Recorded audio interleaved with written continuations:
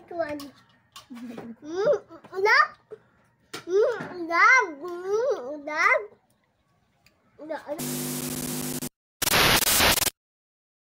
Hello mga mare! For today's video ay gagawa daw ang aking darling ng buko salad.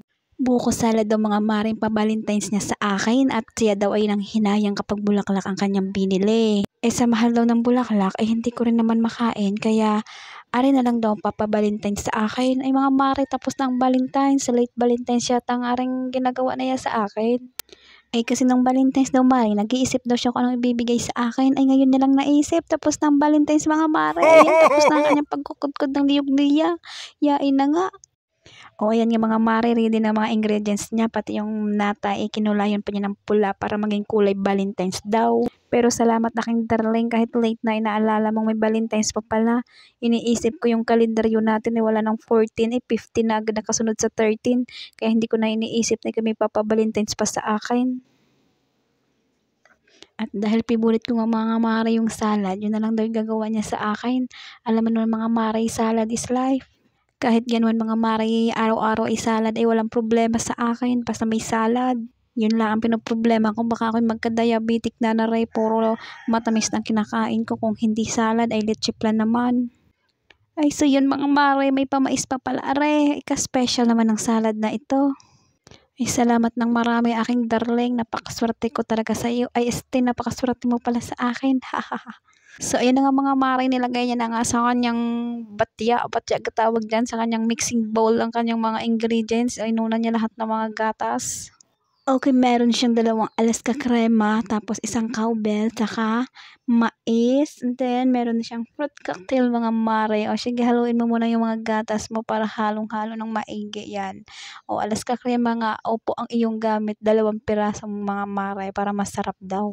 Then, nilagay rin niya ang kanyang uh, fruit cocktail, mga mare. Sige, haluin mo. Then, nilagay niya ang kanyang mais yan, pinagmamalaking mais. Then, next niya ilagay ay ang buko. Sabi ko, Mari, kung nahugasan niya ng buko, dapat hugasan ng maigi. Kasi pag hindi niya hugasan, ay malamang mabilis masira or mapanis. Then, nilagay niya ng kanyang ginawang nata o natang puti. Tapos, natang pula kasi Valentine's daw. Late ang Valentine's din sa amin mga mare. O sige, haluin mo lang. Yan, di pa kontento, dinagdagan pa. Sabi ko, itirahan ako at kakain ako ng nata, nata laang at mamaya ako kakain ng iyong salad. Ay mga mare, kabilis naman ginawa re. O nilagay niya na sa Tupperware. O di nga kabilis lang gawin ang kanyang salad. Kaya yan ang gusto niya gagawin kasi madali lang ang gawin. At yan yung pinaka-favorite ko mare. O yan. Yan, puno ng isang tupper, mga mare. Isa naman, napakadami mong gawang salad, aking darling. Diyos ko po, baka naman ako magkakadiabetic na na rin kasi ayaw naman kumain ng mga tao din sa amin.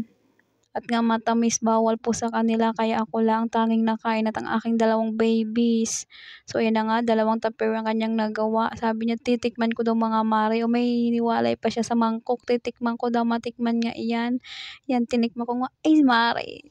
Napapikit tuloy ako sa sarap. Siya, linisin mo na ngayong mga pinagkalatan diyan. O ito pa nga mga mare ang patunay na masarap talaga. Mm, love. Mm, love.